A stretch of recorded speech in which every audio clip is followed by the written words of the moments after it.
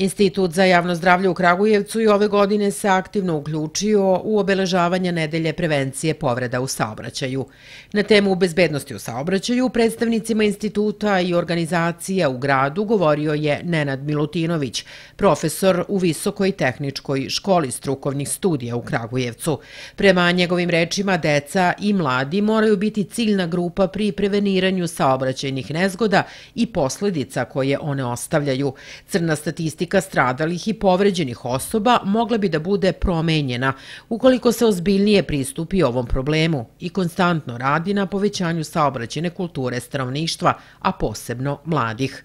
Svakako da su mladi najveći, da kažemo, problem u bezbednosti saobraćaja. Oni čine najveći broj stradalih u saobraćajnim nezgodama kada je u pitanju stanovništvo.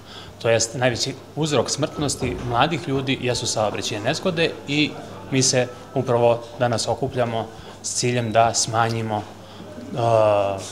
posljedice saobraćajnih nezgoda u ovom delu u pogledu povreda i u pogledu smrtnog stradanja mladih ljudi, prvenstveno kroz edukaciju i pripremu ljudi za bezbedno učestvovanje u saobraćaju. Unapređenje bezbednosti saobraćaja moralo bi da bude prioritet svakog društva, a trenutno stanje nam pokazuje da u našoj zemlji treba još dosta toga uraditi kako bi rizik od saobraćenih nezgoda bio smanjen na prihvatljivu meru. Glavne oblasti delovanja u prevenciji saobraćajnih nezgoda jesu delovanje na ponašanje ljudi, prvenstveno ponašanje mladih učesnika u saobraćaju, kroz edukaciju i kroz strateško delovanje, odnosno stvaranje ambijenta za bezbedno učestvovanje učesnika u saobraćaju, a što je uloga vlasti i donosioca političkih odluka.